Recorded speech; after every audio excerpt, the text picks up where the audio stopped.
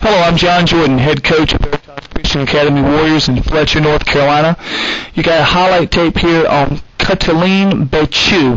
He's a seven foot one junior out of Cluj, Romania. He led his um, his national team under 18 team to the European Championships this summer over in um, uh, Europe.